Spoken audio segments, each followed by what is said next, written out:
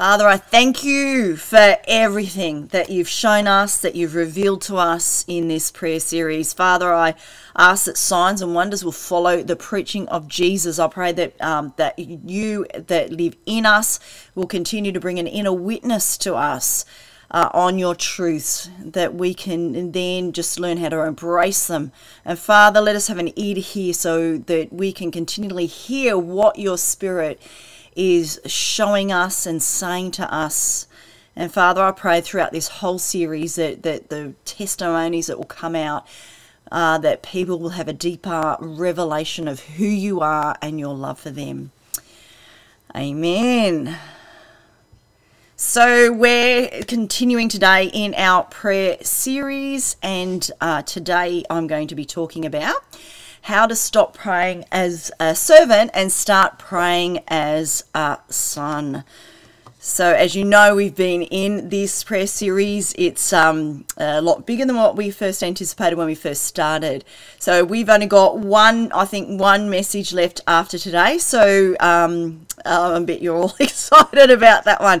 But we've still got that prayer survey up. If you've got any questions, I'll post that in our WhatsApp group. If you've got any questions, on prayer, now's the time to do it because next week I'm looking at doing a message on frequently asked questions on prayer, just to answer some of the things that um, may not have been answered within the prayer series, or just to confirm what I've already said within the prayer series. So I believe just to package a message like that might be helpful for some people just to just to connect the dots. So that's what i'm hoping to do next week. So if you do have any questions uh, please just feel free to to write those out in that prayer survey. That's all anonymous. I don't know who's writing what so you can go for it you know if, you've got a problem with it. Otherwise email text me whatever. So that's all good. So let's uh, get into today. So today is and that's me go. So, how to stop praying as a servant and start praying as a son. Yes, you get it, guessed it. We're up to now lesson 29. So, if this is the first message that you've landed on, this is some of the things that we have shared within this series, the 28 previous lessons. We've covered quite a bit. We've gone through uh, everything that we've been taught through on prayer, probably 99% of the stuff I was taught on prayer, and we have been rightly dividing all of it through the lens of the new covenant and the finished work of Jesus. And so, with some of the scriptures that we've been taught about certain things about prayer, as we've gone and looked at them, we've seen that some actually, uh, the um, author, whether it was Jesus or Paul, we found that some things actually aren't about prayer at all, but we're communicating another amazing spiritual truths. So, this has been an amazing journey, um, has for me as well. I've packaged everything that I've learned over the 25 years into lessons. Um, but I hope that you have been learning and growing as we've been going along in this series.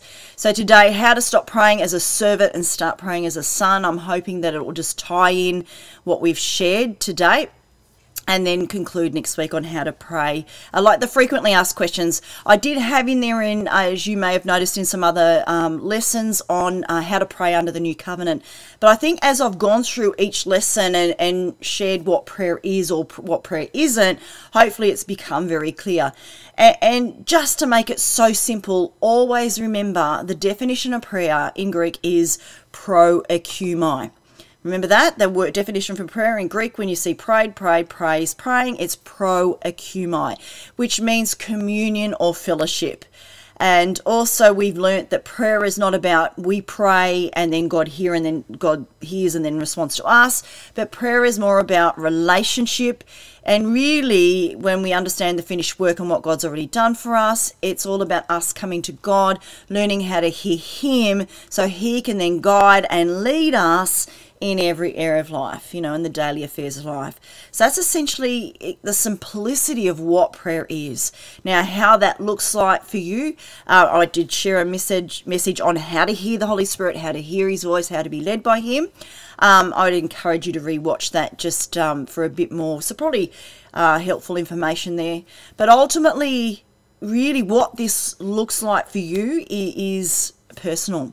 It's between you and the Father, and and it's just learning to trust uh, how to hear, and how to be led by Him. I will cover that a little bit as we do a frequently asked questions because there have been a few questions on that one. So, we're ready? Let's just get into today's message. And uh, so that's what we've done so far. But ultimately, one thing I I think we can all understand from a new covenant perspective that we are not slaves and we are not servants. You know, one thing I love that Jesus said to his disciples, you know, and remember what's spoken about in the Gospels, it's pre cross. Jesus was born from a woman, born under the law to redeem those who were under the law. And we'll go through some scriptures on that in a second. But you know, so the context is the key. But it, there's still a, a, beautiful spiritual truth here. And this is what he said to his disciples. And this is John 15 15 in the Amplified Classic Edition.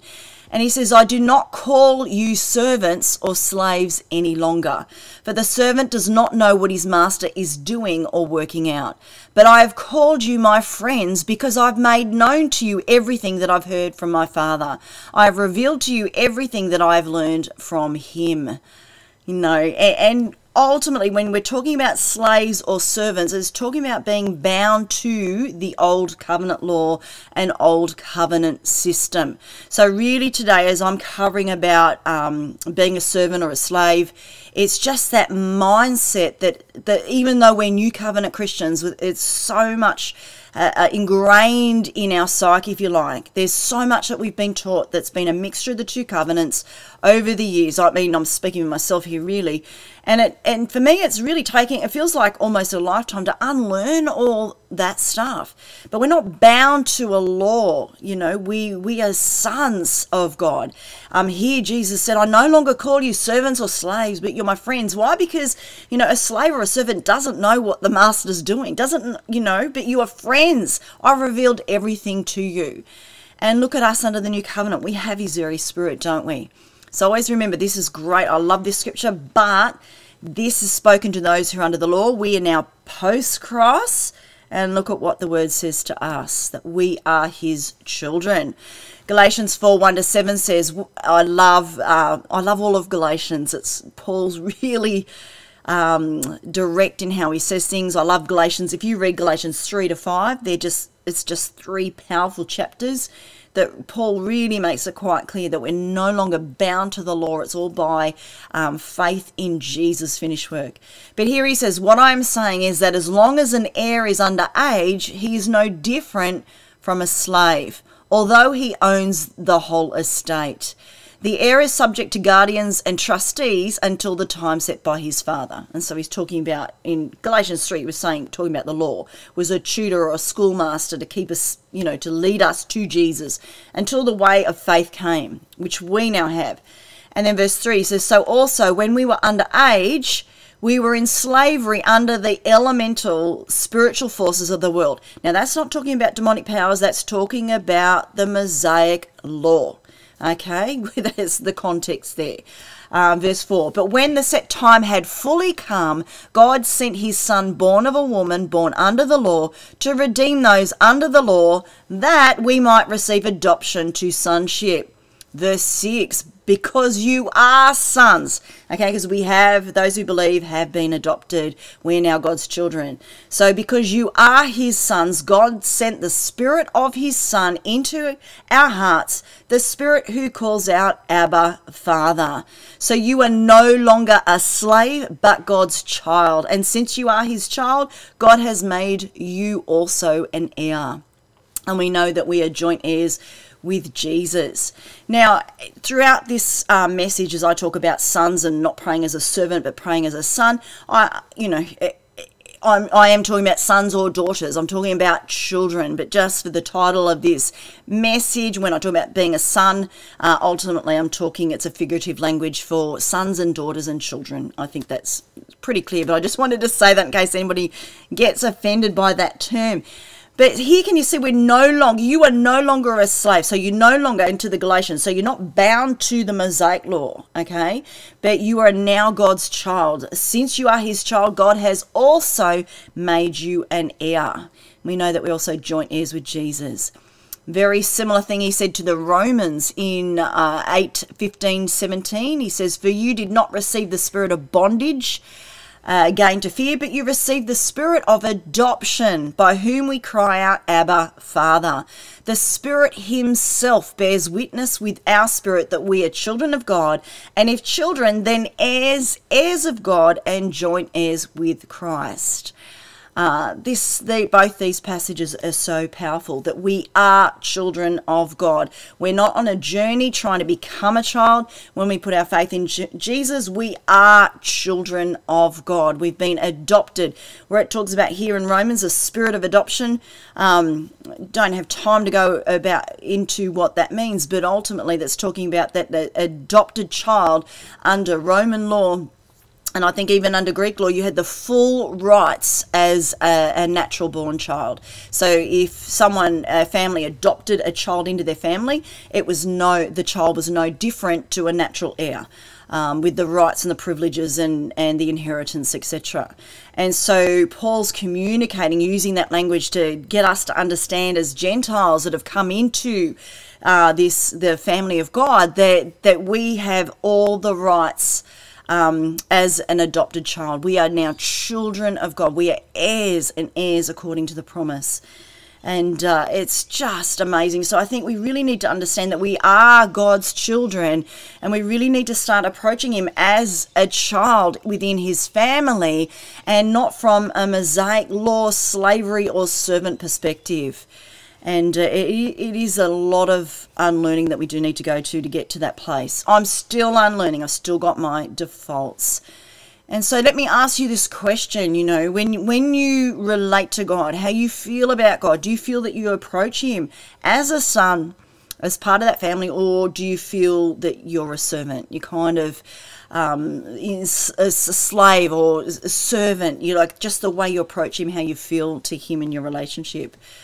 You know, is God up and close and personal? Do you feel that you can connect with Him, or do you feel that He's distant and might be silent, and even sometimes maybe even dis- disapproving? You know, this is really real, real and uh, real questions, and ultimately, this is in your heart. You know, this I'm not wanting answers here, but really, I'd like you to just to think and meditate on this. How do I relate to God when I approach God? When I pray? When I connect with Him? How do I approach Him? How do I feel about my relationship with him? Is is he with me, or or do I feel that he's over there, distant somehow? And I'd encourage you to rewatch my our message on unanswered prayer. Just to the what we covered is that God loves you unconditionally, regardless of your circumstances. So we really do need to get past judging our relationship with God with by what we experience, and that that's a big mindset shift as well in and of itself.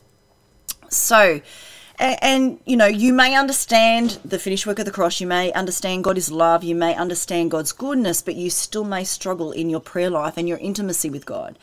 You still may find it difficult to connect with Him. And sometimes it's just a matter of we've really got to renew our mind and unlearn a whole bunch of stuff you know, and I've said here in my uh, PowerPoint here that prayer, which is communion and fellowship with God, it's meant to be one of the simplest, most natural functions of a believer's life. But, you know, as we've seen throughout this whole prayer series, it's become one of, look at what I've said here, most, one of the most convoluted, complicated, and misunderstood things in all of Christendom. It really has. And so, as you've seen throughout, we're now up to tw- lesson 29 that that's so much stuff that that we've had to expose and to bring in light with the new covenant uh, and there's so much that we really do need to continue to unlearn all that man-made stuff and just get back to basics of what prayer is meant to be and our relationship with god is meant to be um, you know, I'm not one, if you, you get to know me, I've changed a lot in this area. I was quite the opposite, but I'm not one to see that, that, you know, there's a demon under every rock or, you know, people need deliverance from multiple demons or anything like that. And I don't always believe that everything's a satanic attack. I think that we can pretty much can stuff up our own lives ourselves and you know we suffer because we live in a fallen world with fallen men so there's a lot of stuff that happens there however when it comes to prayer i really do believe the adversary has been working over time to separate us from the father's love and and I tell you, you know, if a believer can lay hold of Jesus and the finished work of the cross, they can lay hold of God's unconditional love for them, then you know what? It is game over for the adversary. He can't separate you through lies and deception anymore. So, can you see why he has fought so hard to separate us and to make prayer so difficult and so convoluted? And, and, and all this stuff uh, has got in the way of us just simply connecting with the Father, knowing He's our loving Heavenly Father, knowing what God has already done for us through His Son, so we can simply have relationship with Him. Instead, we're placed on the wrong side of the cross and we're continually striving to earn or striving to, to lay hold of something that God's already provided for us. So, you know and that's really true spiritual warfare isn't it? Is that we need to take every belief system we have in this area um, you know that puts us on the wrong side of the cross or under the wrong covenant or even our wrong perspective of god. And that's where we need to cast all that stuff down and bring it captive to the new covenant and to jesus and who jesus is and what we have through him. And so that is the real spiritual warfare to remind ourselves of jesus and his finished work and you know and i really it's my heart throughout this whole series that we ultimately you know that we get past the you know the wrong teaching the man-made stuff the tradition stuff and, and stop approaching god as a servant and really start relating to him as a son or a daughter a child. Okay and then you know experience all the benefits and everything that we have within god's family. Really it's just uh, that is my heart and that is my prayer for you so, what does praying as a servant look like? And there's two sides of the coin here.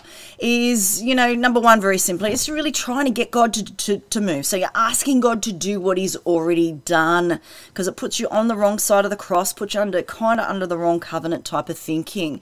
Uh, it's also following methods and formulas you know, rather than being open, honest, and vulnerable, rather than going, you know, God, Jesus, help me, you know, I don't know what to pray here, I don't know what to do, I'm desperate, you know, or I'm in pain or whatever, and Jesus, help me. And that can be the most powerful prayer rather than stuff that methods and formulas and, you know, etc. Now, the thing is, praying by rote, by memorizing a prayer, and I've said here, rather than communicating from your heart in your own words, uh, with our kids, one thing that, that we've done since they were, you know, even as they were babies, we used to pray for them every night. And, and as they'd get older and as they were able to speak, we would then um, share with them, okay, now, you know, we'd go in and go, okay, now you can pray for yourself. Now you can talk, now you can communicate and understand. You can pray to, to, um, to, to the Father yourself. And I remember we used to do that with the kids. And I remember one night in particular, and it had been happening for a while, my, our son Aiden, he would just go, Thank you, Father, bless you, Father, thank you, bless mum and dad, thank you, blah, blah, blah, blah, blah, amen. Okay, done. And then he went, rolled over and said, Night, mum. And, and that would happen for a while. And then it just, it just, after a while, because I used to think, Great, he's prayed, you know, box ticked. and, and then I thought about it, I thought, this kid he's praying, but there's zero connection, zero understanding of what he's doing. And, here I am feeling like, oh, he's ticked his, bo- ticked his box, he's prayed, uh, he's right now, and I'm happy because my son's prayed.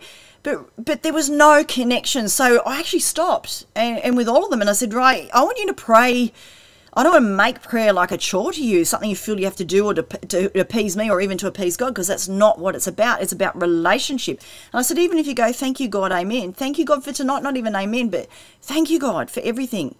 Or I love you, God. Or, you know, just pray from your heart. And I said, you know, I'm not going to stand here and make you do it, uh, but I encourage you just to do that between, you know, when I leave the room. It's between you. It can even be a thought and so I began to change how we began to teach our kids, and because really it was there was something they were doing from rote, no heart in it. So really, what was the point? What was the point? You know, and uh, you may think that's heresy, um, but there was no connection. You can pray till you're blue in the face. You can recite prayer for an hour. You can get out the prayer book and read every prayer in it. But if you're just doing it as a method of formula or by rote or just without even understanding what you're doing or even without any connection, what is the point? That is just, uh, I know I'm coming across pretty black and white, but it just really began to, to even how I viewed prayer and how I connected with God. It was huge, even coming to that point. Um, going back to these notes. So, what does praying as a servant look like? You know, praying out of fear just feeling, you know, oh, am I doing everything right here? Um, or even just concern, you know, God, are you displeased with me? Have I done everything right today? That that's coming from a place of being a servant. Even if you're making sure that you've done everything correctly, like, hang on, have I prayed in faith? Actually, have I entered the gates with thanksgiving? Have I entered the courts with praise? Have I thanked God? Have I worshipped Him? You know, the little checkbox of I need to, to pray, I need to repent, I need to do all this stuff. I actually, like, I'm really talking about my own history here. This is what I've struggled with. This, I'm being really raw and real with you. I've come from this to myself, so I know what both sides of the coin look like, or from um, being in both these places. So I'll continue. So, you know, have I been in faith? Have I thank God? Okay, God, thank you for everything you've done and thank you for everything you're going to do for me. And the next, you, you know, and I used to also have prayer lists. So I kid you not. Ah, let me put this back. There we go. So I used to have prayer lists, and what I used to do on my prayer lists, I would have two points because I'd read out my prayer lists and pray over my prayer lists continually. And they kept getting bigger and bigger, big, bigger. And I'd cross off the things that had been answered. But at the end of every prayer list, I kid you not, I'd have two paragraphs. And God, anything, I pray for anything that I haven't even thought of yet. Anything that I don't even know that's going, you know, what's going to happen or whatever, you know, like a little clause along those lines. And the other one was, um, and anything I've forgotten, I want to cover all that too. So if there's anything I've forgotten or anything I haven't thought of, anything um, I cover and pray for that area too. You know, and I kid you not, I did that for a long time. And so I'm kind of like, great, I've covered every base, I've dotted every I, I've crossed every T. Prayer list sorted. Um, that's my history of how I used to pray. Um, you may also feel distant, you, that you don't even connect with God, and, and or even feel that he's, he, he's not listening or he doesn't hear you. Uh, again, I would watch my our lesson on unanswered prayer because um, it, we really do need to get past of judging our relationship with God based upon circumstances. It really is a huge mindset shift, that one. But you can, if you feel there's no change in your circumstances, you can start to feel distant. You can start to feel that God's not hearing or, or answering. But when you understand the finished work of the cross and understand God's unconditional love for you, you can then start to rightly divide those feelings and really come to a place where you can start to experience and know His love for you regardless of what you're facing you know, I've covered this, but you know, not wanting to miss something out or get anything wrong. You know, have I missed something? And should I have covered the prayer from this angle? Should I have prayed for this? Have I missed anything? Praying for others, even. You know, just that sort of mindset.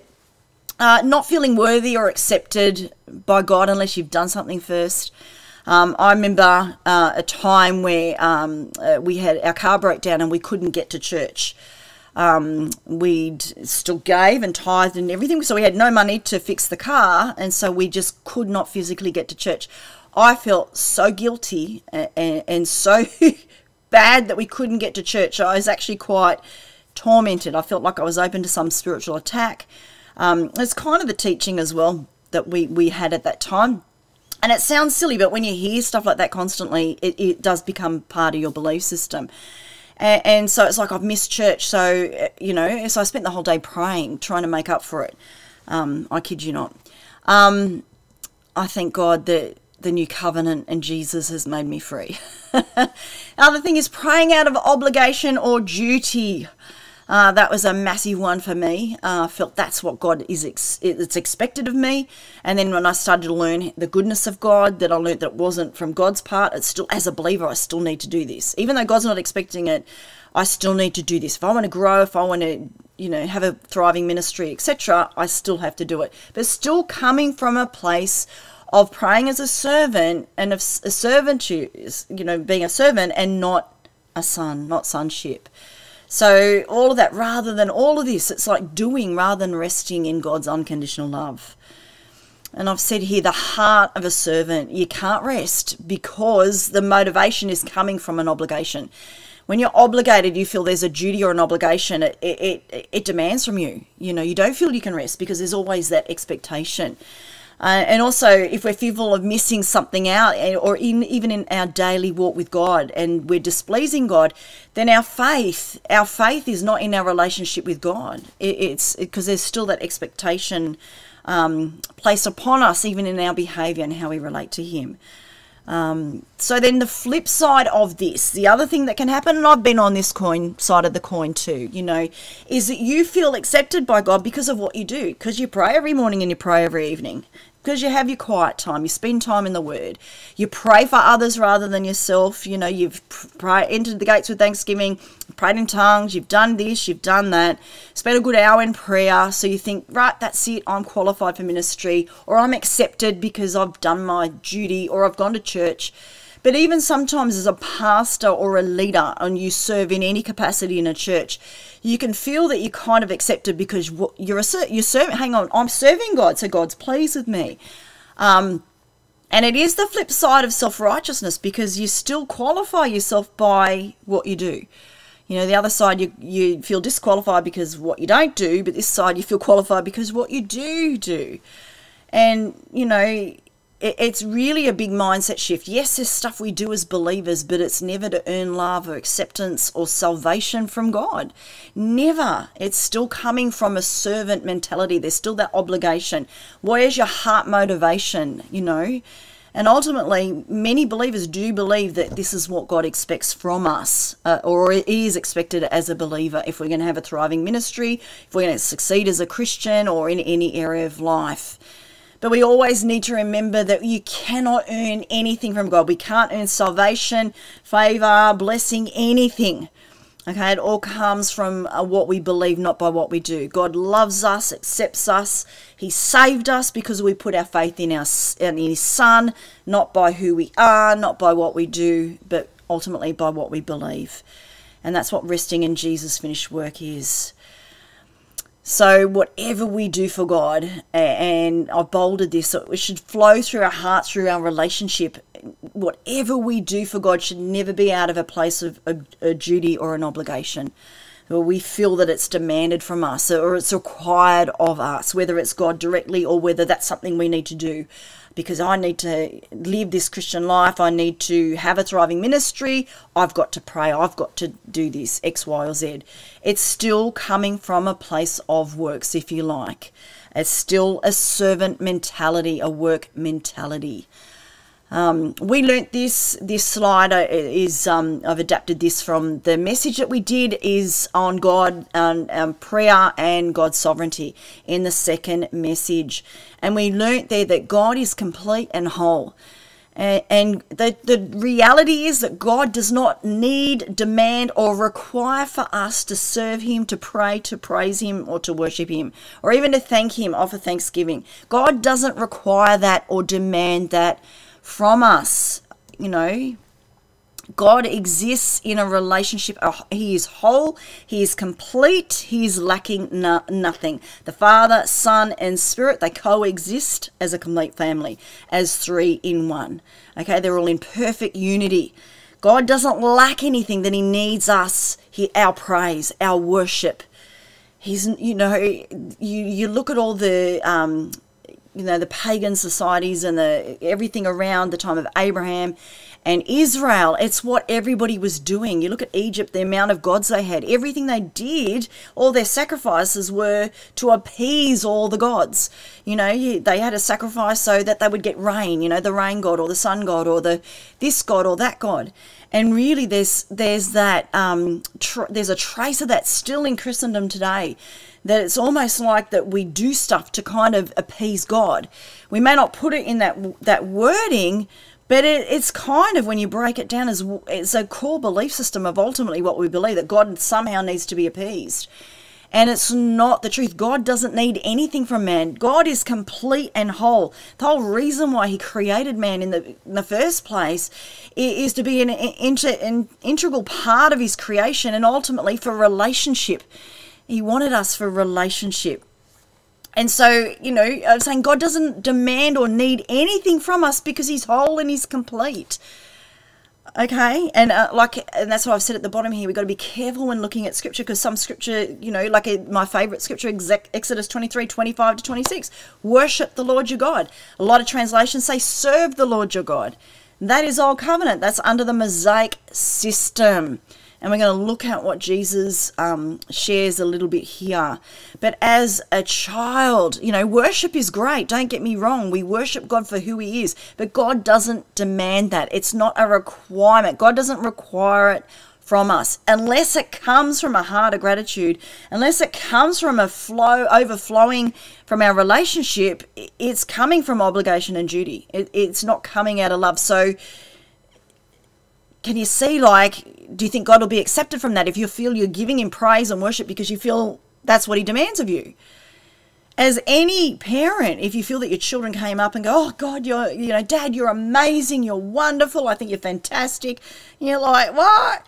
You know, as a parent, you're thinking, "Well, what do you want?"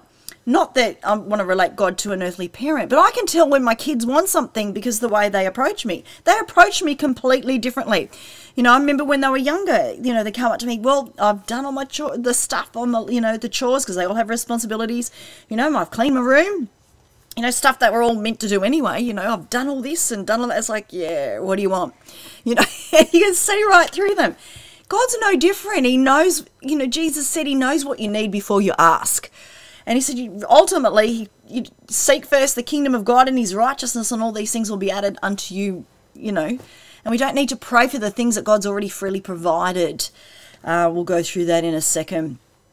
But it's, you know, there's so much ingrained in us. Yes, God is the creator of the universe. He is worthy of our praise, absolutely. But I hope you understand where I'm coming from. If you're doing it as a requirement, as a duty, under obligation, then there's no heart connection. There, it's not a response of faith. Uh, or love. It's coming from being a slave or a servant. It's out of obligation and duty. Ultimately, you cannot rest in God's goodness. You can't rest in His relationship with Him unless you know He's at rest with you. God is at rest. He's not meaning, He's not angry with you, He's not displeased with you, He's not judging, He's not examining, He's not scrutinizing your performance or behavior. You know, He's at rest with you, with what Jesus has done. We're loved, we're accepted, we're approved, we are His children. Ultimately, what pleases him, we know, is faith in his son. Without faith, we're told it's impossible to please God. You know, without faith, without trusting and believing in Jesus. You know, most believers, I hear this, uh, heard this quite a bit, that they they'd just be so happy to hear when they, you know, die and enter eternity, and God says, "Well, well done, good and faithful servant." You know what? That's coming from a place of a servant, not a son. I don't want to hear, well done, good and faithful servant. Under the law, that's probably good. Under a slave master thing, that's good, but that's not coming from sonship. You with me? Remember, we are heirs, joint heirs. We are seated with Him in heavenly places. It's so ingrained, isn't it? Um, religion is ingrained in us. It's it's so hard so you know we've either way on that what i shared what praying as a servant or approaching god as a servant looks like both sides of the coin there we've got to stop coming to god on our own self-righteousness whether good or bad whether we feel that we've ticked all the boxes or we we can't even tick the boxes we're not good enough or whatever. You know, we've just got to approach God based on our faith in Jesus, knowing that because we believe in Him, we are already loved, accepted, approved, and we've entered into God's family. So we can start relating to God as a child of God and not under a slave or a servant mentality. Amen. It's so important that we do this. And we know that rest, it's not in inactivity, it's spirit led activity. I talk about that all the time. So it's not sitting and doing nothing, but it's a belief system as well because what you believe will drive you. Um, you know, so if you feel that I've got to pray, uh, for if I want to have a thriving ministry, if I want to succeed in life, if I want to get an increase in finances, if I want to get a new job or a new house or whatever, I have to pray. So if you don't believe that it's expected from God this way, but you need to, it's still coming from the wrong side of the cross. It's still coming from a slave or a servant mentality because um, it's driving you. You've got to do something rather than hang on. Jesus has uh, provided this for me. Uh, how can I connect with Him? That through relationship, He can guide and lead me in my day to day life, you know. And so that's your methods and your formulas too. So when you know that God's rest, at rest, this Jesus is at rest, you are seated with them in heavenly places, it does stop that uh, laboring and striving that you have for life. It, you know, really. And ultimately, I've said here in my notes, it's ultimately with salvation, it's self denial. Uh, is ceasing from your own laboring and striving, trying to produce something for yourself, even through your own prayers. That if I pray and I do this and I've got to do that, I've got to do X, Y, and Z to get you know, X, you know, do ABC to get, I don't know. you know what I mean? You, you got to do something to get something.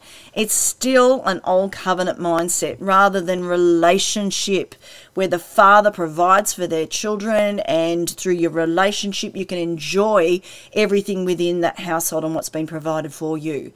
Um, it's a completely different mindset.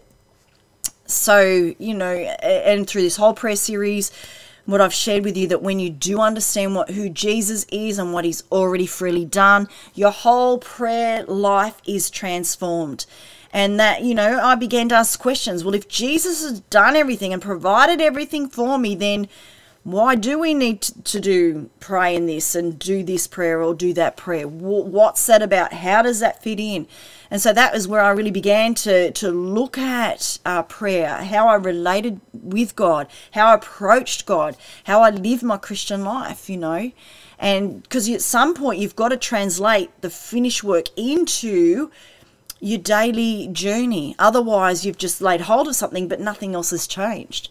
But you do over a period of time, you find to question, you begin to question things and look at things, and they're good. It's good to question. It's good to look through and and ask yourself, why do I do the things I do?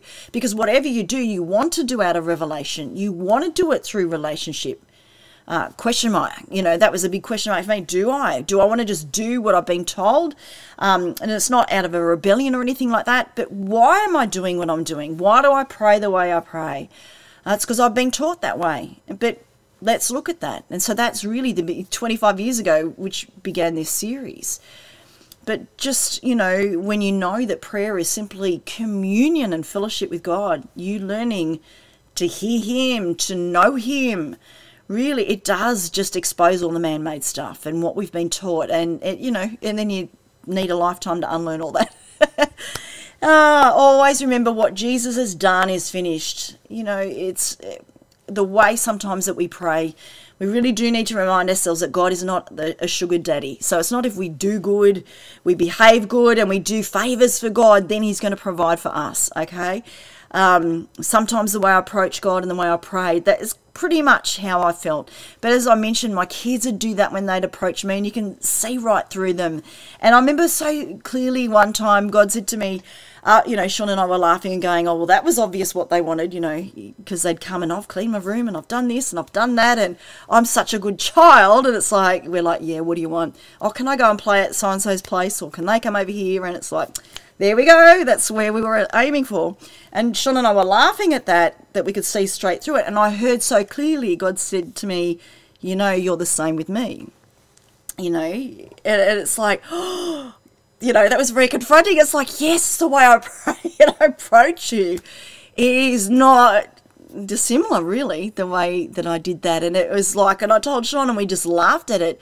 But at some point I thought, gee, I really want to look at this because do I feel that I'm you, you know, I can approach God and I do right, be right, and oh God, you're amazing, and you, you know, praise and worship. I'd always do that at the beginning, and it was kind of like a method and formula. But I felt that I needed to do that. But God already knew what I needed before I even opened my mouth. But when I understood Jesus, I already had the provision, I already had the answer. So you get to get past all this stuff that we've been taught or self taught or whatever, and just being able to come and go, Jesus, help me. You know, or even just when you get past because you understand the finished work, you just go, right, I'm going to spend time with you for who you are, not for what I can get from you. You know, I say all the time, why go after healing when you can get to know the healer? You know, why go after provision or anything else when you've got the provider? You can learn just to spend time with him and get to know him. It's so simple, isn't it? Another thing I've said here, where there's this real reaping and sowing mindset, and we covered this kind of as blessing and curses in last lesson, but it really is we reap, we've been taught so much that you reap what you sow. Yeah, that there's a world system that works that way. Uh, ultimately, the food ecosystem works that way. You sow a seed, you get whatever. Uh, and within the, the law and the principles of this world, yes, but in God's kingdom under the new covenant, it's about faith in Jesus. It's unconditional. The law, reaping and sowing, blesses and curses, was based on performance, on fulfilling the law. You know, the new covenant, Jesus has done that for us. It's based on faith, putting our faith in Jesus and his performance and what he's fulfilled for us. So we've got to get past this do good, get good, do bad, get bad mentality. It's still a servant Mosaic law focused mindset. Okay.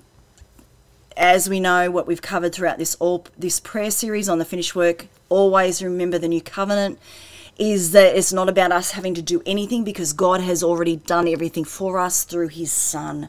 That's why it's a better covenant based on better promises. We put our faith in Jesus. We rest in Jesus' performance alone and rest in God's love for us. And then out of that, as we're led, we can then respond in life. Anything else that we do out of an obligation or duty is really out of a uh, works mindset. And because we've been taught that, we don't know any better, really.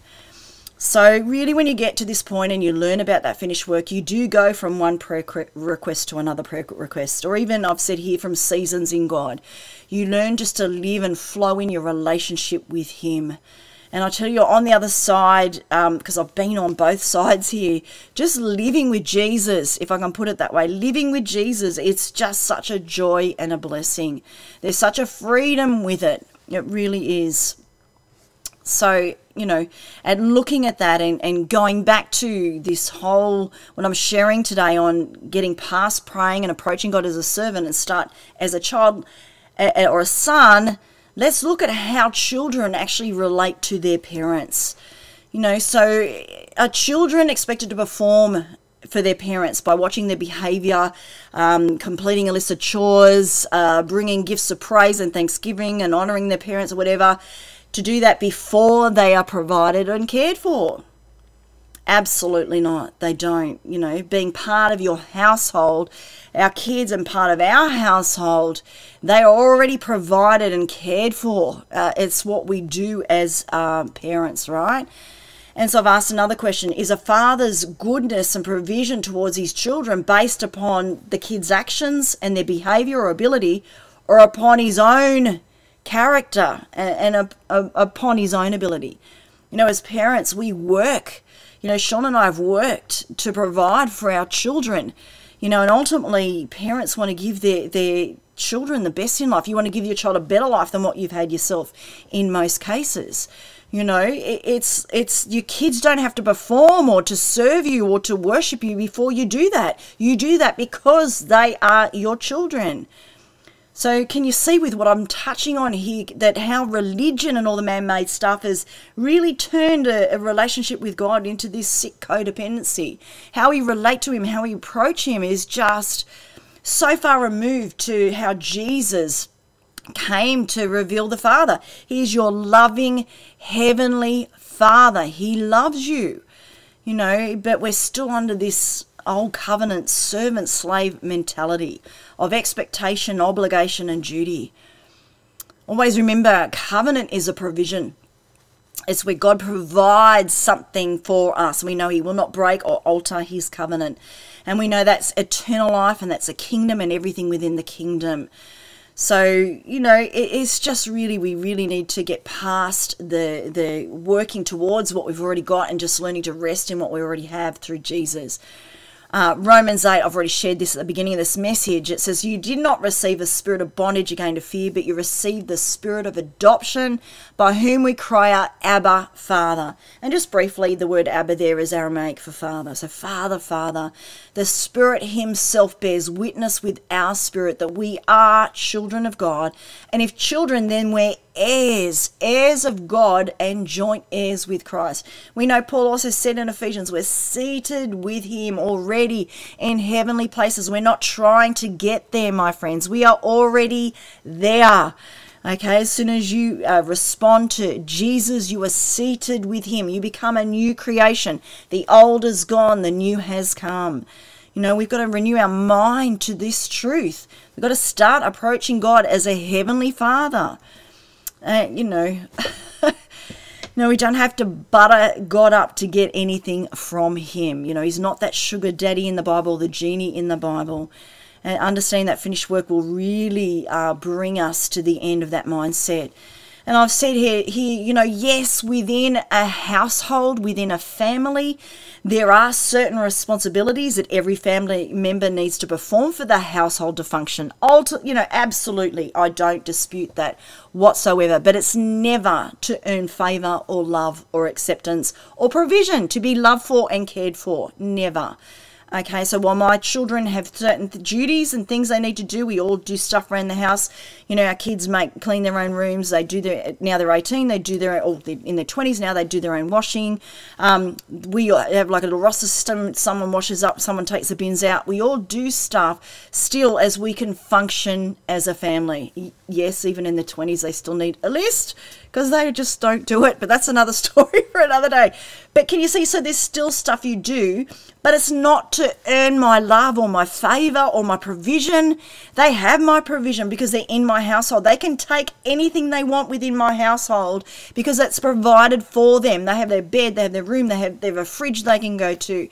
You know, it's because I love them. It's not based on them worshiping me, thanking me, um, their performance. We, if they do do their chores, they don't put out the bins, don't do the dishes, doesn't mean they, they're out on the street. Doesn't mean I don't love them anymore. My DNA is in my children regardless of what they do.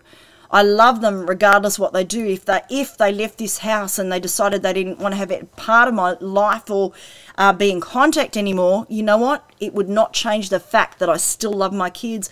Will not change the fact that my DNA is in them. That they have a provision here in my home, and they're just not experiencing it.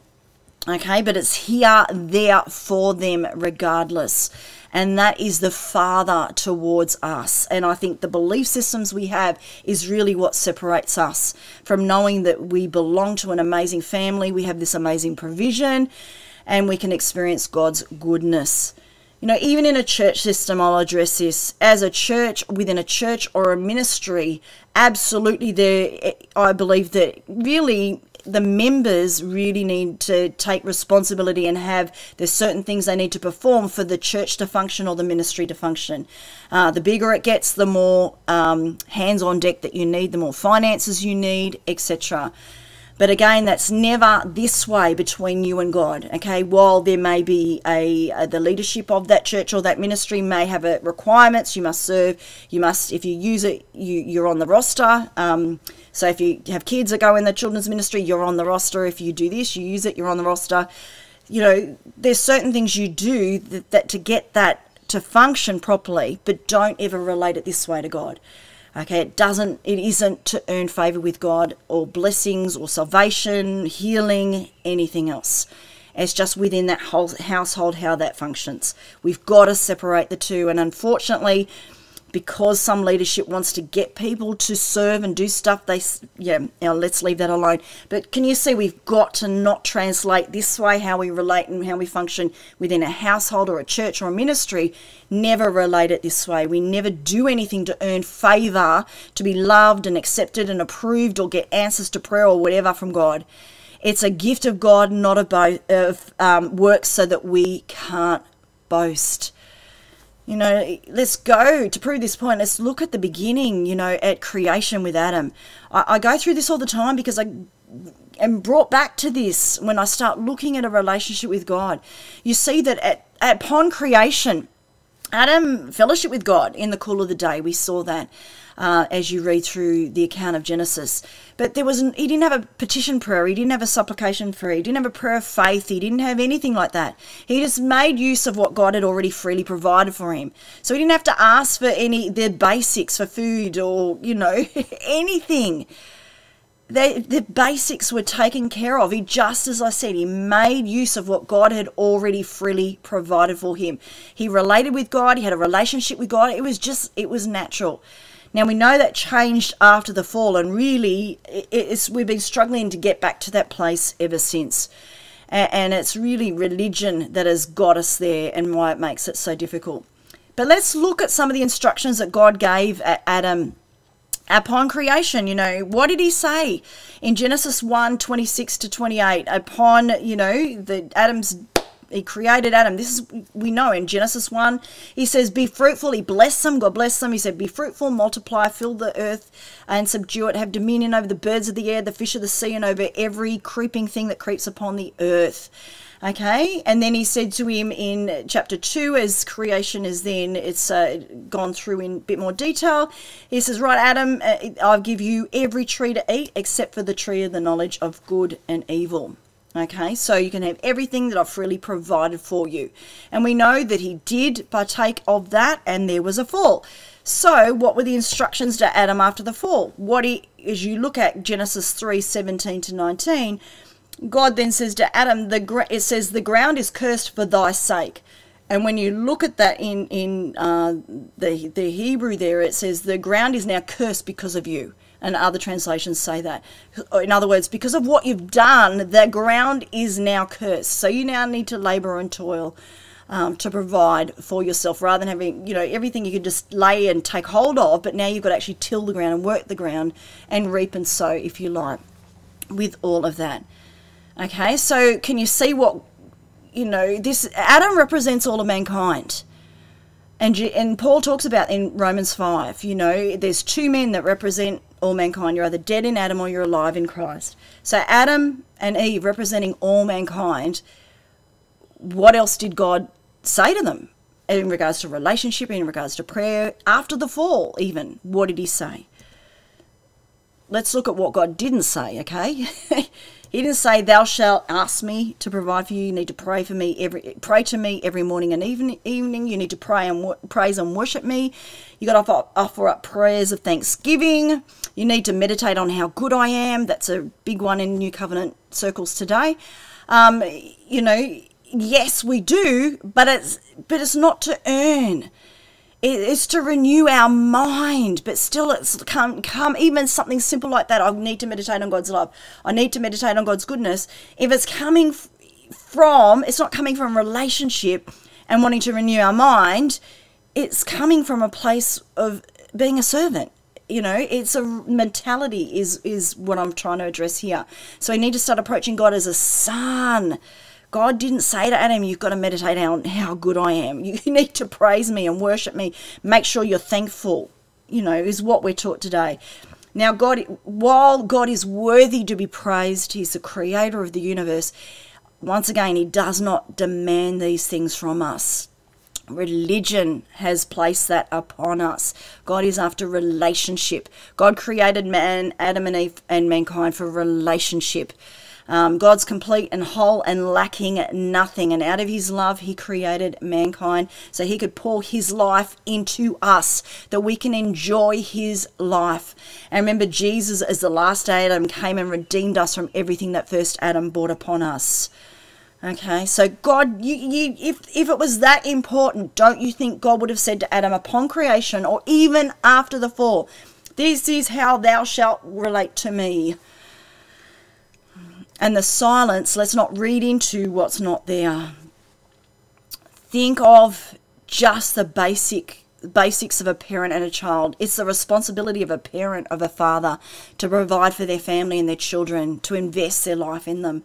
And I mentioned this before, you know, most parents, and obviously there's some bad parents, so don't take that analogy too far, but a good father, a good parent will want to provide for their kids and set their kids up for their life, set up an inheritance for them. So, you know, set them up with what they didn't have. Ultimately, that's what a parent wants to do. They work hard to provide for their kids. You know, I know my own family have done that. And, and you know, that, that don't, that's a natural earthly parent. Jesus himself said, How much more will the Father uh, take care of you and provide for you? You know, when in Matthew 6, don't worry about your life, what you eat, what you drink, what you wear. You know, he said, don't worry about that stuff. The pagans run about that stuff. The pagans worry about that. You know, but God will provide for you. The birds of the air, you know, how much more? He loves you more. Will He provide for you? And we know what He did through Jesus and His finished work. You know, it's a parents. Children don't have to work for an inheritance.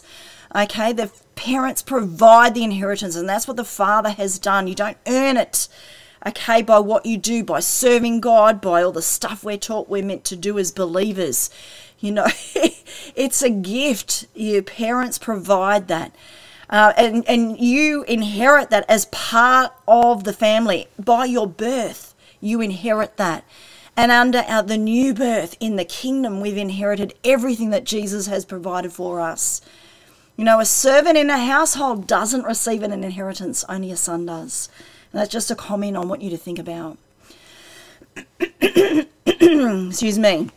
Galatians 3 26 to 29, Paul says, For you are all sons of God through faith in Jesus, in Christ Jesus. For as many of you were baptized into Christ, have put on Christ. There's neither Jew nor Greek, there's slave nor free, male nor female, female, for you are all one in Christ Jesus. And if you are Christ, then you're Abraham's seed and heirs according to the promise.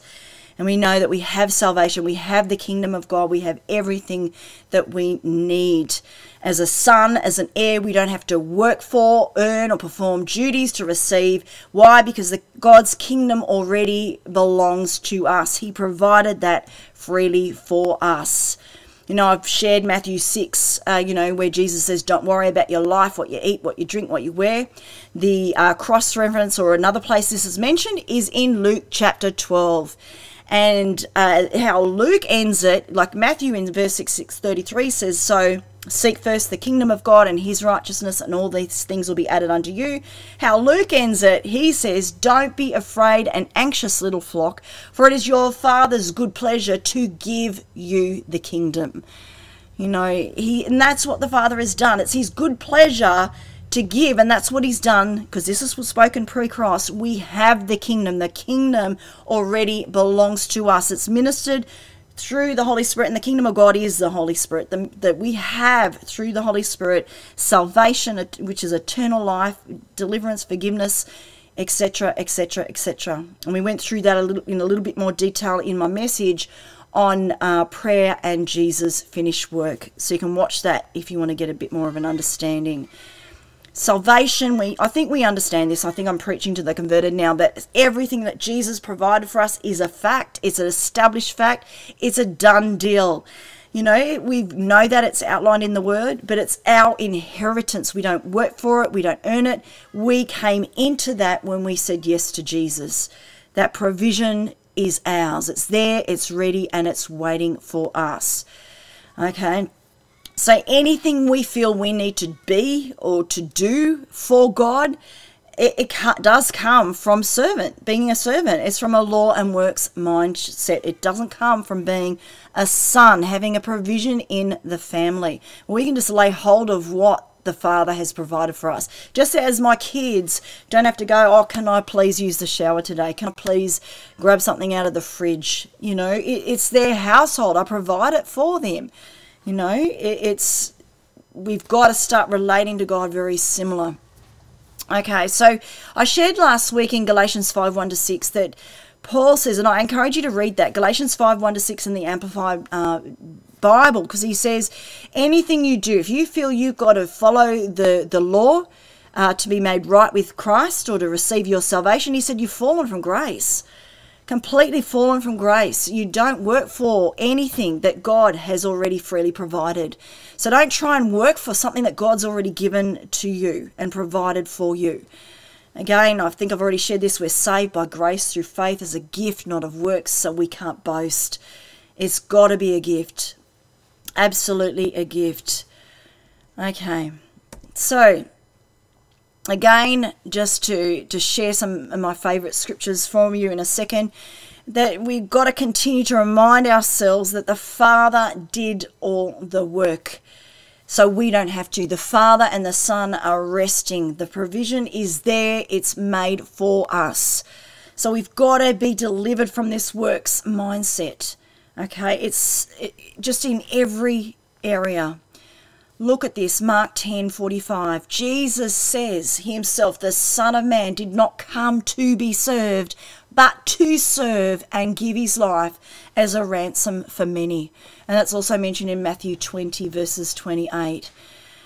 And, and, like, that can be a real shock for most of us because that's not our mindset that God needs us to serve Him. We've got to do ministry. We've got to do this. We've got to do that. No, Jesus says, I didn't come to be served.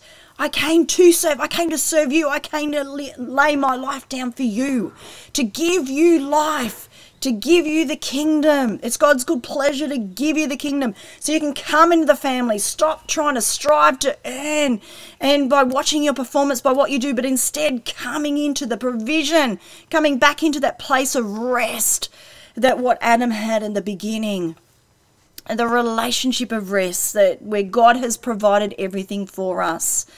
You know, when you look at scripture, He's did it all before us, before we were even born. We didn't have to do anything. The Father did everything through the Son already.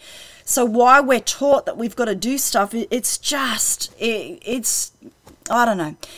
It's crazy, isn't it, when you really look at it? So let's look at some of these scriptures. These are some of my favorite scriptures, and I often get these quickened to me and uh, Romans 5, beautiful. It says, while, um, prior to this, Paul says, while we were without strength, Christ died for us. And then you keep reading verse 8, he says, God demonstrates his own love toward us in that while we were still sinners, Christ died for us. You know, he demonstrates his own love for us, that while we were still sinners, Jesus died for us. We didn't have to pray and ask God to give us Jesus. He did it because He loved us. And that's the same with everything else. You know, because God has already given us His very best through His Son, we already have everything we could possibly need. John 3:16, love this one, we all know this. For God so loved the world that he gave. He did it. He gave Jesus, his only begotten son. We know so whosoever believes shall not perish but have everlasting life. 2 Corinthians 5:18 which comes straight after anyone is who's in Christ is a new creation. The old is gone the new has come verse 18 now all things are of God or from God. In other words God has done it all and says, Who has reconciled us to himself through Christ, Jesus Christ. The Amplified Classic Edition, which I know by rote because I love it, it said that God was personally present in Christ, reconciling and restoring the world to favour with himself, not counting up men's sins against them, but cancelling them and then giving us that message of reconciliation so that by thought and deed we might aim to bring others into restoration or favour with God which is peace with God. God did it all himself through his Son. He came down as Jesus and righted all the wrongs for us. He reconciled us and restored us to favor with Himself before we were born, before we even had a prayer request, before we even had a need. While we were still sinners, God did this because He so loved us, loved mankind. He wanted to restore what Adam had lost. He wanted to bring us back to that place of relationship, of not being fearful and running and hiding from God like Adam did and but coming back into that place of relationship of father and son. Again, Romans 8 3 says, For what the law could not do, in that it was weak through the flesh, God did. God did it all by sending his own son, and it continues in the likeness of sinful flesh, and on account of sin, he condemned sin in the flesh. God did it. What the law could not do, God did himself for you. In other words, can you I love all these scriptures. God did it for you. He righted all the wrongs for us. How am I going for time? Okay.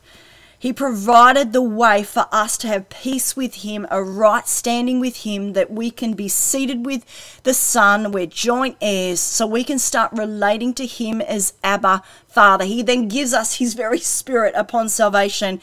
That's an inner witness that bears witness with our spirit that we are His children. So we can cry out, Daddy, Father.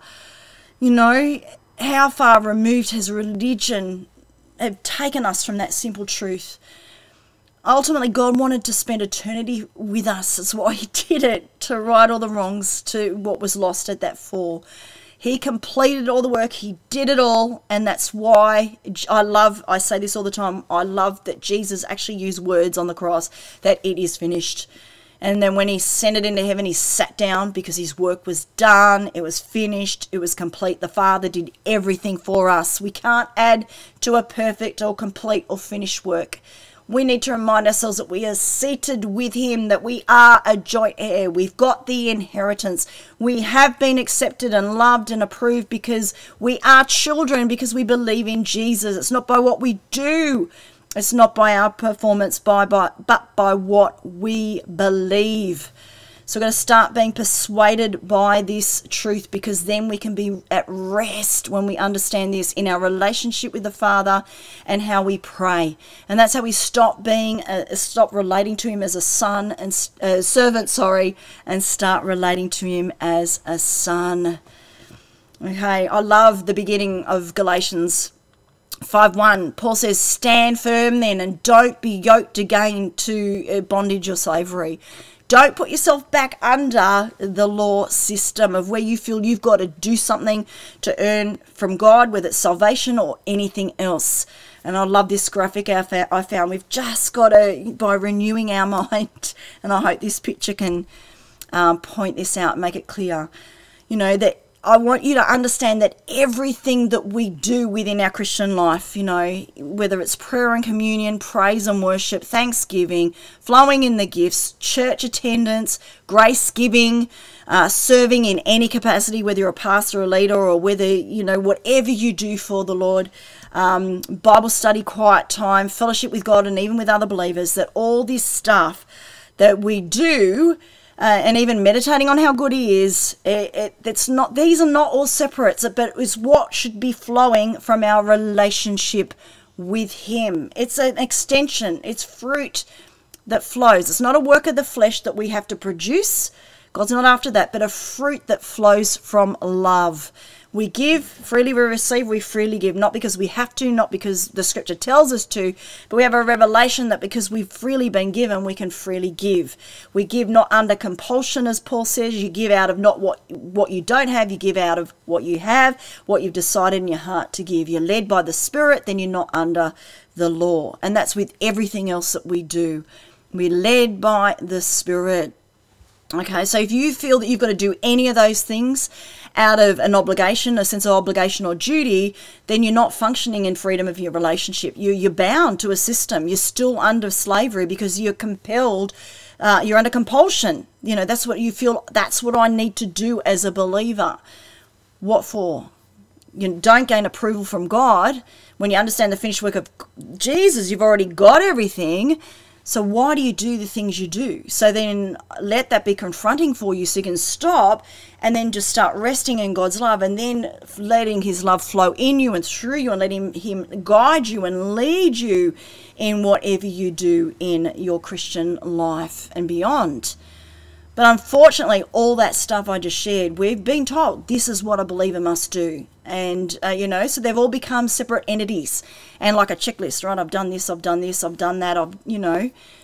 But remember, the only thing that pleases him is faith in his son. We're so caught up with wanting to work and do stuff for God, but look at John 6 28 to 29. The Amplified Classic, I love it. So Jesus, these people approached Jesus and said, What are we to do? Because they realized he was their Messiah. Okay, then, Jesus, you're the Messiah. So what are we to do that we may habitually be working the works of God? What are we to do to carry out what God requires? And Jesus replied, This is the work uh, or service that God asks of you. that you believe in the one whom he has sent, that you believe to trust on and have faith in his messenger. Believe, have faith in me. We're so busy. What must I do to serve you, God? How am I going to please you today? You know, I need to serve, I need to give, I need to pray, I need to do this. That's a servant mentality. What God asks of you, the works, the service that He wants of you is to believe in Jesus, to rest in Jesus and His finished work. It's beautiful, isn't it? Let this truth make you free. anything you do that you feel you need to do, to do as a requirement um, to be accepted by God or even to function as a believer, it negates faith, which rests in Jesus' performance alone. That is powerful. I'm going to say that again. Anything you feel you need to do as a requirement to be accepted by God or to function as a believer negates true faith. And true faith rests on Jesus' performance alone. That's when you can rest in your relationship with God. Okay, our life needs to be an expression of our faith in Jesus. That's not a work. That's not an obligation. That's not a duty. Always remember that God was motiv- motivated by unconditional love for us. That while we were still sinners, while we were without strength, Jesus died for us. 1 John 3 1 it says, How great is the love the Father has lavished on us that we should be called children of God, and that is what we are. Meditate on that because of God's great love for us. God provided everything freely for us. He does not want us to feel eternally obligated to pay Him back. He doesn't need, demand, or require us to work for Him to do favors for him, you know, to even receive salvation or gifts or healing, anything else, okay? Um, to serve him through ministry or through religious duty by giving and doing and thanking and praising and, you know, to worship him. He doesn't demand worship through prayer, praise, thanksgiving to show our gratitude. If you feel you need to do this, that God requires it of you, that it's a function of a believer, it, the motivation is coming from an obligation or a duty. Is whereas when you know what God has done for you through your Son, I can't help. I begin my prayers, you know, when I pray, when I open in prayer, every time it's the same. It may sound like rote, but it's uh, you know, it's so simple. Thank you, God, for what you did for us through your Son thank you. I'm et- I am eternally grateful. It's out of a heart of thank God for Jesus you know, when you unlearn all this stuff, you know, God doesn't demand you. He, like, I hope you get this. God provided everything freely for you. He doesn't want you to feel eternally obligated to pay Him back through your service. He doesn't want you to feel like, I've got to do something for God now. And, and within a big church, there's stuff we have to do to function within that church. You do need people to serve and give, etc. And sometimes that relates this way because that's where what we're taught. But God doesn't need you to work for Him or to serve Him. Jesus said, I didn't come to be served, but to serve. I came to lay my life down for you so that you can have eternal life, that you can have my life, that I provide that life for you. How do you experiencing it? By believing in me. So, what whatever you do for, for God through life and ministry, unless you're led by the Spirit, where He equips and empowers you, it's really you're going to be laboring and striving in your own ability anyway. There's no ease on it. You'll it'll be hard. But when you know there's a calling there, and when you know that calling's there, then when you get past all this stuff, you know that you have been equipped and empowered. And as you learn to trust Him, it will flow. Your life will flow. The gifts will flow. Everything will flow. So we've got to get past uh, any religious mindset, anything where we feel I must or I need to, whether it's pray, give, serve, whatever. Okay, because it is a reaction. That's a reaction. It's under compulsion to a law and works mindset, which is a servant rather than just responding to God's love and having faith in Jesus and knowing that that's where we get loved, accepted, and approved through faith in Jesus alone. So, guilt. Eh, remind yourself that guilt is the language of a servant because when you stop to do all the stuff you do, and this is the process I went through and I know others have as well, especially in your prayer life, when you realize, hang on, I don't need to pray for all this stuff because Jesus has already provided. So, all this prayer list stuff that I had, hang on, you did that, you did this, you did that. I've got the answer to that already. I know I can get the answer for that already. I need wisdom for that, so I can do that through relationship. And I went through my prayer list and I'm thinking, here I am laboring and striving on hours on end, covering all these things every night when you've already provided this for me. So, my prayer life went from hours to reduced quite considerably. Instead, now, most of the time, I just spend time being still uh, in His presence where there's worship, music, there's a whole different ways. Um, that I can connect with Him. But ultimately, I've learnt to communicate with Him throughout my whole day. That that, my, that you can be constantly praying without ceasing, where you're hearing and responding and aware that He's there with you always. I'm not saying not to set aside time, absolutely not. Some people actually function better that way, and I do do that as well. But it's not this big long uh, hours like it used to be. Okay um, how you do it, how you relate, that's between you and the Father. But know if you don't do it one day, that you're not going to lose any favor or anything from God, which I kind of felt that's where I came from. And so, as I began to grow in the finished work and in my relationship, learning how to pray as a son or exist as a son in relationship, I felt guilty that I wasn't praying enough. I felt guilty that I wasn't serving enough. I still did ministry and everything like that, but not with the same force that I was doing it before. I, it went from being out of an obligation and a duty to flowing from a relationship. And it, there wasn't that drive there anymore. There was that rest, but I kind of felt guilty that I wasn't praying the amount of times I was, the hours that I was praying as before. And you know what? It, you know, it, that was in every area. You know, and if I missed church for one reason because we had something on, you know, something happened, I didn't feel guilty about it anymore.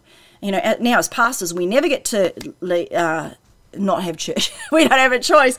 But, you know, as if you were like me, you may feel that, oh, I missed church today. You do feel guilty. That's not sonship. You know, we've got to get past that mentality. And, and you do, you will face this, you will feel guilty, you'll feel like this void, and you begin to question what's right, what's wrong. But go back to basics, go back to your relationship, build from there, keep it simple, really. And remind yourself that guilt and shame and condemnation is the language of the law. Remember, Jesus, uh, sorry, Paul said that if you fear, you're not made perfect in God's love because fear has got to do with punishment and torment. Don't feel under any obligation uh, within your life, within your ministry, with how you relate to God. Okay? I love what John says here in uh, chapter 3, verses 20 to 23. He says, For if our heart condemns us, God is greater than our heart. So if you condemn yourself because I'm not praying enough, I'm not giving enough, I'm not serving enough, I'm not doing enough, He's saying that God's greater than your heart, you know? So don't condemn yourself. And no, and he knows all things. Beloved, if our heart does not condemn us, we have confidence towards God. But if our heart does condemn us, we don't have confidence, but that's that we still have the same relationship, nothing's changed. But in our heart, we relate to him differently, really. So really don't let your heart condemn you. God is greater than your heart. He knows all things. He knows what he's already done for you through his son.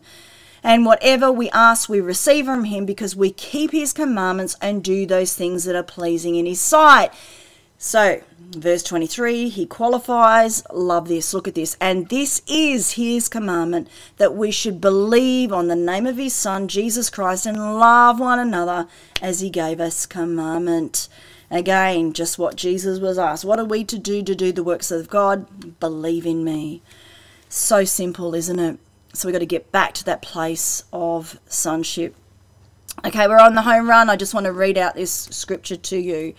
So, guilt, shame, condemnation is the language of a servant, not doing enough, not being right in any way, shape, or form. Lack in any way, shape, or form comes from being having a servant mentality. Rest is the language of a son, and when you're coming from sonship, I love Romans 5 1 to 4. The classic amplified says, Therefore, since we are justified, which means acquitted, declared righteous, and given a right standing with God through faith, let us grasp the fact that we have the peace of reconciliation to hold and to enjoy peace with God Uh, and through the, our Lord Jesus Christ, the Messiah, the Anointed One. Through him also we have our access, entrance, introduction by faith into this grace, which is state of God's favor in which we firmly and safely stand. And let us rejoice and exult in our hope of experiencing and enjoying the glory of God. When the glory of God is Christ in you. Okay, and moreover, let us also be full of joy now. And I'll continue in a second. But look at his. Let us grasp the fact that we have peace of reconciliation to hold and enjoy peace with God through Jesus and what He has done for us. Let us rejoice of our hope of experiencing and enjoying the glory of God, which is Jesus in us. We can enjoy and rejoice and experience the glory of God. Moreover, let us be full of joy now. And then he says, Let us exalt and triumph in our troubles and rejoice in our sufferings, knowing that pressure and affliction and hardship produce patient and unserving endurance. And endurance fortitude develops maturity of character, approved faith, and tried integrity. And character of this sort produces the habit of joyful and confident hope of eternal salvation. Now, verses 3 to 4, where it talks about rejoicing your sufferings, etc. This is like a sister verse to what Paul says later on in Romans 8. Um, remember, so remember, we suffer because we live in a fallen world with fallen men. There's an adversary, and we suffer persecution. so we've got to put that in its context. That's the pressure and affliction and the hardship that a lot of the Christians were facing at that time persecution for being believers. But it's a sister verse. Remember what we covered under um, what praying um, in the Spirit is. And we saw that um, the groanings that we have, and that's what this is about here. And he, he actually fleshes it out in two more chapters, three more chapters. So Romans 5, Romans 6, he says, you know, you, we were dead in Adam. Basically, we're now alive in Christ. So count yourself dead to sin, alive to God. Romans 7, he talks about how the law produces in you what you don't want to do because it's the law at work in you.